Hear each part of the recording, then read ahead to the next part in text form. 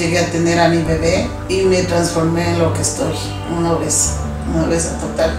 Peso 360 libras. Hay mucha discriminación.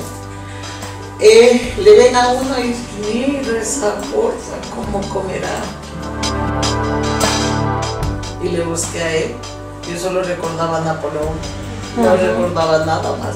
No sabía ni quién era ni dónde era y le busqué. He arruinado mi salud.